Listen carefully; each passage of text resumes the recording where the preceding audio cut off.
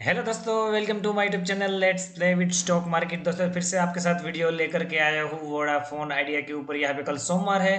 कल फिर से बाज़ार खुलने वाले हैं और यहाँ पे बाज़ार खुलने से पहले ही यहाँ पे फिच जो कि ग्लोबल रेटिंग एजेंसी फॉर्म है, उन्होंने यहाँ पे वोडाफोन आइडिया के ऊपर एक बहुत बड़ा रिपोर्ट निकाला है और रिपोर्ट के चलते यहाँ पे जो बातें बोली गई है, उसके चलते यहाँ पे कहीं ना कहीं वोडाफोन आइडिया को झटका लगता हुआ दिखाई दे रहा है। तो इस क्या बातें करी है फिच ने, जो कि ग्लोबल रेटिंग एजेंसी फर्म है जैसे मैंने बताया तो उसके बारे में तो बताऊँगा ही बताऊँगा। साथ ही साथ यहाँ पे कल कौन से लेवल पे बाइंग सेलिंग कर सकते हैं, कौन से लेवल पे आपको नज़र रखना है, और आपको यहाँ पे लॉन्ग टर्म के लिए भी लेकर के बैठे तो हमेशा मैं बताने की कोशिश कर रहा हूँ कि कोई एक पर्टिकुलर लेवल है, उसको पकड़ करके ही अभी आपको वोडाफोन आइडिया को प्ले करना है। उन सभी बातों को फिर से यहाँ पे डिस्कशन करना चाहूँगा। सबसे पहले यहाँ पे क्लोजिंग की सिचुएशन कैसी रही थी फ्राइडे को?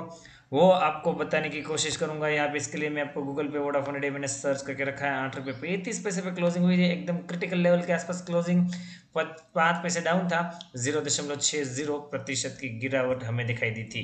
तो सीधा पहले वो न्यूज़ पे ही चलेंगे और न्यूज़ को पढ़ने की कोशिश करेंगे और उसके बाद मैं चार्ट पे लेके जाके मैं कल के लेवल टारगेट आपके साथ डिस्कशन करूँगा। Vodafone they will continue to lose user in coming month here is why तो यहाँ पे फिच ने सबसे पहले यहाँ पे ऐसा बयान दिया है कि आगे जितने भी मंथ आएँगे मतलब कि आगे काफ़ी महीनों तक अभी भी वोडाफोन आइडिया अपने सब्सक्राइबर लूज करेगी। ऐसा यहाँ पे बताया है। उसके पीछे का कारण जो उसने बताया है, वो अपने आप पे बहुत ज़्यादा चौंकाने वाला है। Vodafone Idea is likely to lose more subscriber in coming month as Reliance Jio Airtel have no plan to increase the hike. Via increased price of postpaid plan despite both leading operator are doing well with the same pricing. Beside both telecom operator don't want to affect their market share. तो दोस्तों, जैसे कि आपको पता होगा कि यहाँ पे एक कड़ी टक्कर चल रही है। यहाँ पे भारतीय एयरटेल और जियो के बीच, जो कि दोनों के एक्टिव सब्सक्राइबर है, वो तैतीस दशमलव छः और तैतीस दशमलव सात मिलियन यहाँ पे है। तो कहीं ना कहीं यहाँ पे जो उनके सब्सक्राइबर बेस है, वो एकदम कट टू कट चल रहे हैं। और यहाँ पे हाल फ़िलहाल में बात करूँ तो भारतीय एयरटेल जियो से भी यहाँ पे ज़्यादा एडिशन कर रही है सब्सक्राइबर बेस में। फिच की तरफ़ से यहाँ पे ऐसा बताया जा रहा है कि इन दोनों की तरफ़ से आगे जाकर के तारीफ़ एक आना हाल फ़िलहाल में तो मुश्किल दिखाई दे रहा है, जिसका पूरा पूरा झटका यहाँ पे वोडाफोन आइडिया को लगेगा, क्योंकि तारीफ़ हाइक इसके चलते वोडाफोन आइडिया भी नहीं कर पाएगी और इसके लिए उनकी जो कैपिटल एक्सपेंडिचर है जो कि होनी चाहिए, वो होगी नहीं और इसके चलते यहाँ पे जून के क्वार्टर में भी फ्रेश यहाँ पे जो लॉकडाउन चल रहा है, इसके चलते यहाँ पे कहीं ना कहीं स्लो डाउन आएगा।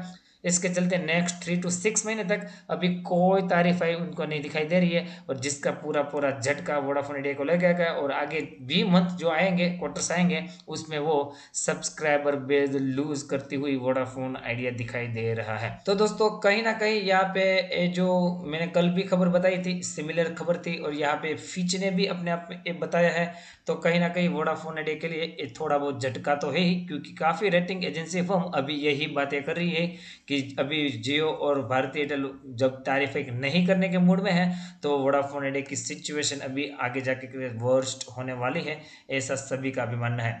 यहाँ पे वो बता रहे कि जो तारीफ़ एक नहीं होगी तो उसका जो अभी फाइनेंशियल इश्यूज़ है, और ज़्यादा बढ़ेगा लॉस और ज़्यादा वाइडन होगा, और उसको एडजस्टमेंट ग्रोस रेवेन्यू भी कम करना है, उसको भी दिक्कत होगी, और आगे जाकर के जो फाइव जी रोल आउट करना है, और कैपिटल एक्सपेंडिचर में जो खर्चा करना है, वो सब में उसको दिक्कतें आएगी, और जिसके चलते यहाँ पे उसको और ज़्यादा मुसीबतों का सामना करना पड़ेगा। और इस सब में और सब्सक्राइबर बेस लूज हुए तो और यहाँ पे उनके रेवेन्यू में बड़ी गिरावट देखने को मिलेगी। ये सब यहाँ पे फीच ने बताया है। मुझे लगता है एक बहुत ज़्यादा नेगेटिव खबर है यहाँ पे वोडाफोन आइडिया के लिए। अभी मैं आपको चार्ट लेके जाके यहाँ पे क्या कर सकते हैं कल, वो बताने की कोशिश करूँगा। बार बार दोस्तों यहाँ पे आठ रुपये पैंतीस पैसे के आसपास आकर के संभल रहा है। पर आपको पता होगा कि जब कोई शेयर बार बार किसी सपोर्ट को आके टकराता है तो सपोर्ट कहीं ना कहीं वीक हो जाता है।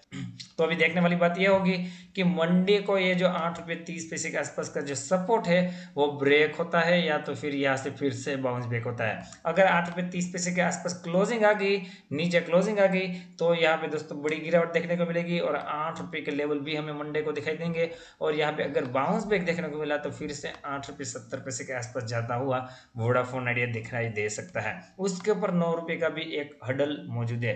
आर का लेवल हालाँकि वीक है, यहाँ पे अड़तीस का दिखाई दे रहा है। तो दोस्तों, थोड़ा संभल करके दाव खेलना है और मैं जैसे बता रहा हूँ कि आठ रुपए के लेवल को पकड़ करके ही आपको प्ले करना है।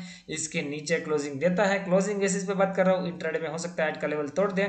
परंतु तो क्लोजिंग देता है वन डे की चार्ट पे तो आपको लॉन्ग पोजिशन को अनवाइंड करना है और फिर से आठ रुपये का लेवल क्लोजिंग बेसिस पे ऊपर तोड़े।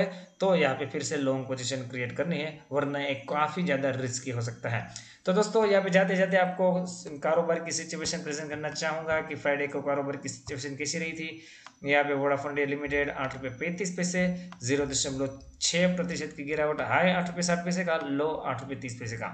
यहाँ पे क्वांटिटी की बात करें, नौ करोड़ इक्यासी लाख सड़सठ हज़ार शेयर की ट्रेडिंग हुई थी, जिसमें से चार करोड़ अड़तालीस लाख निन्यानवे हज़ार शेयर की डिलीवरी परसेंटेज ऑफ़ डिलीवरी छियालीस प्रतिशत के आसपास की दिखाई दे रही है। तो आई होप कि दोस्तों वीडियो आपको अच्छा लगा होगा। वीडियो अच्छा लगा हो तो लाइक का बटन दबाइए। आपने अगर जीरोधा में अकाउंट ओपन नहीं किया ट्रेडिंग अकाउंट ओपन नहीं किया, मेरे डिस्क्रिप्शन में लिंक है जीरोधा की, वहाँ से जाके आप अकाउंट ओपन कर सकते हो। मिलते हैं दोस्तों अगले वीडियो के साथ। तब तक के लिए thank you again for watching this video